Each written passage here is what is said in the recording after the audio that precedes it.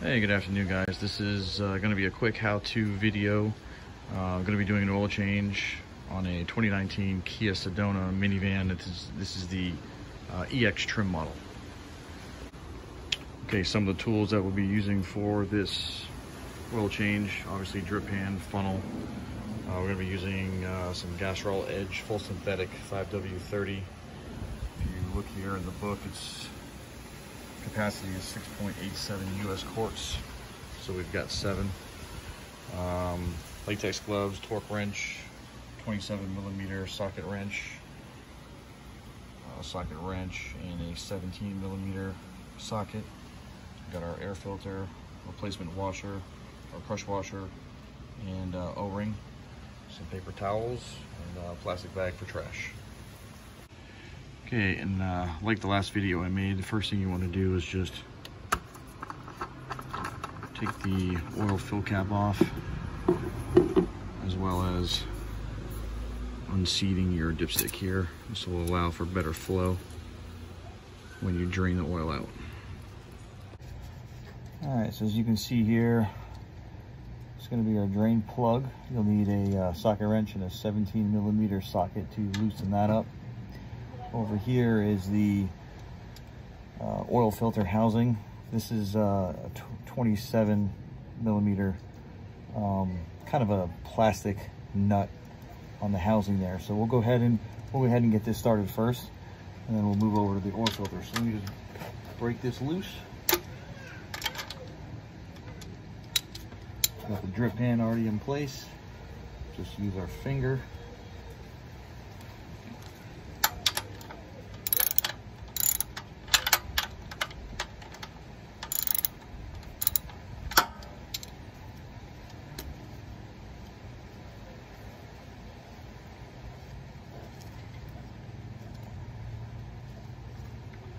There we go.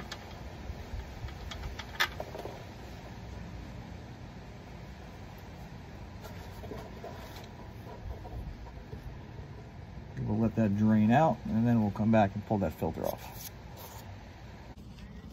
Okay, so we're almost completely drained from the oil pan.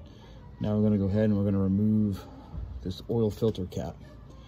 So, uh, get a socket wrench with a 27 millimeter socket on it.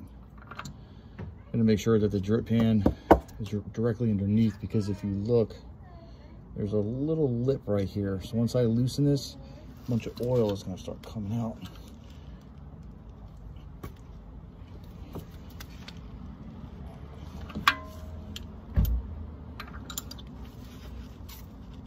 There we go.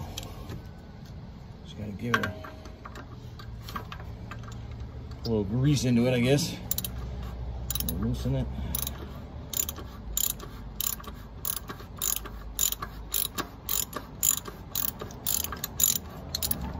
And that should be good. Now, just go ahead. You can see that oil's coming out there now. So that's going to drain from that that lip. And as I pull this out completely,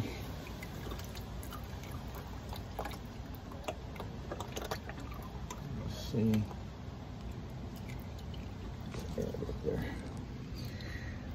So the oil filter just sits inside this plastic housing here.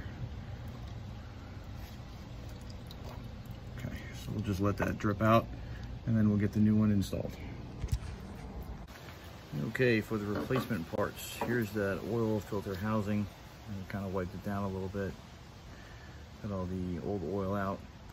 You take a flathead screwdriver and you kind of get up underneath this rubber o-ring here and then you can just kind of pull that guy right off that's going to be your old one so you can discard that and then we'll be putting on a brand new one but before I do I'm just going to put a little bit of some new oil kind of lube this up a little bit and uh, and we'll go ahead and put that on the exact same groove as the old one. All right, so I got a little bit of oil on my fingertips here, my gloves. I'm Just gonna grease up the new O-ring. And then I'll go ahead and, apply that to the housing. Just gonna roll it into place. Just like that. Ready to go. And the next thing you want to do is replace your crush washer. Should come off pretty easy. Sometimes these come off pretty hard, and if they do give you a hard time, you can actually cut these with some wire snips. I've had to do that before. This one's coming off fairly easy. You can discard that one. And you'll put your new crush washer on that came with your oil filter. Ready to go. Okay, we're gonna put our new oil filter in. Here, there's a new oil filter here. Just plop that into the new housing. Should seat just like that. And we'll tighten that into the housing here. And we'll hand tighten it first. And then we'll use our socket wrench, our 27 millimeter. Tighten that up.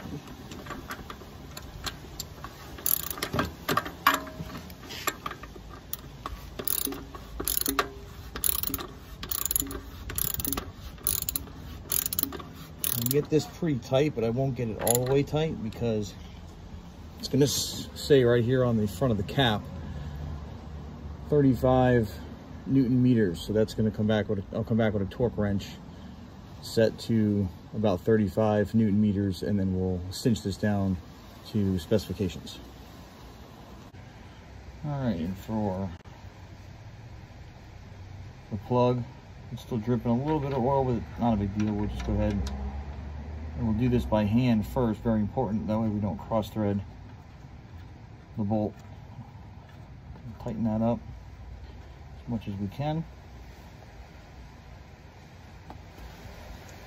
And we'll use our 17 millimeter socket. Again, just snugging it up. But I will come back with a torque wrench in a few minutes and we will get that to specs as well as the oil filter housing. Okay, so the drain plug, Kia says that you should torque that to a tension of 34 up until 44 Newton meters. So I have a torque wrench here and this is a Tekton torque wrench and we have it set to 40 nanometers, so, or Newton meters. So wait till we hear the click.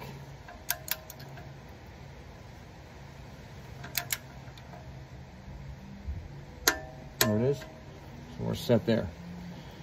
I'll switch out the tips. We'll put on the 27 mil. We'll reduce our tension to 35 newton meters, which is going to be 34, a little bit more. That's about 35 right there. So we'll tighten it down and then we'll come back.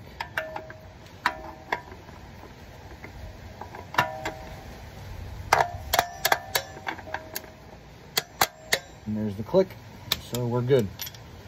We have the oil filter housing tight to spec and we have the drain plug tightened to specs. We'll go ahead and just kind of wipe these down, a little excess oil dripping there, and then we'll be good to fill this thing up with some new oil. Here's a look at the old stuff. The old filter. That is dirty. I was due for a change. Okay, let's get some new oil on this thing. Okay, get my funnel in place.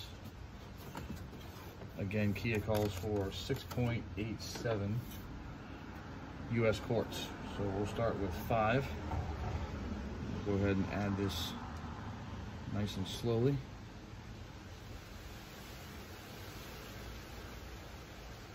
what I'll probably do is put six quarts in. I'll get the car off the ramps, start it up, let it run for a few minutes, then let it cool down. And then I'll check the level of the oil and see if I need to add um, some more oil to it after that point. You don't want to overfill because then you got to do this whole thing all over again. So just go nice and slow. Put all the oil in there.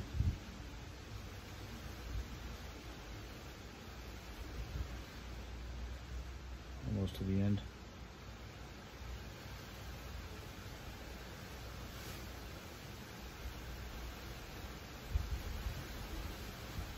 Okay. Okay, there's five quarts. I'll add one more and then we'll get it off the ramp and start it up. Okay, we're just gonna let this run for a couple minutes. Let it heat up. And then we'll shut it off and let all the oil get down to the, to the pan. Probably give it about 10 or 15 minutes. And then we'll check the levels. No leaks. Good to go so far. Okay, we've given it about 20 minutes or so. So let's go ahead and check the oil level. Pull the stick out, give it a good wipe. Nice clean fresh start. Drop it back in and then remove. We are, if you can see we're if you can see that or not, we're a little below the full line. It should be it should be a little bit closer to the full line, so we're about three quarters of the way from the bottom of the dipstick. So I'm gonna go ahead and add a little bit more oil.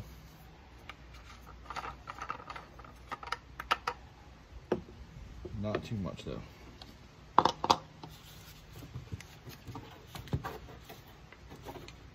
Probably put a little bit less than a quarter of a quart.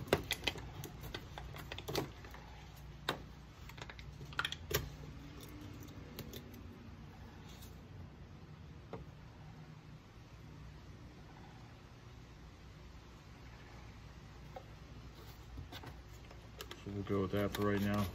Give that a few minutes to get to the bottom and then we'll do another level test.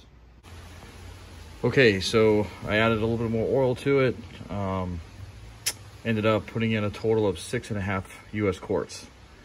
Uh, Kia called for capacity of 6.87, so a little short of that. My uh, fill, my oil line is just below the, the fill on the uh, dipstick, so I think we're gonna be good to go there.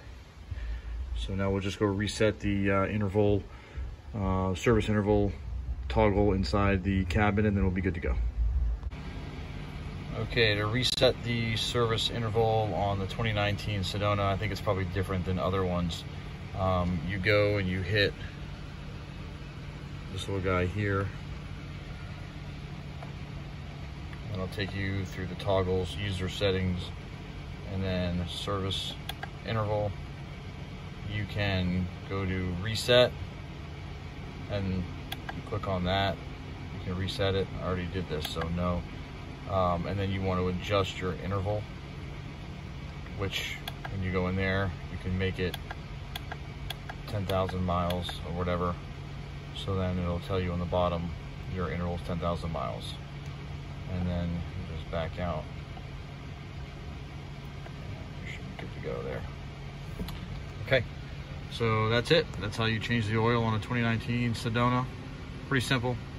Uh, if you have any questions or any comments, just leave them in the description below and have a good weekend.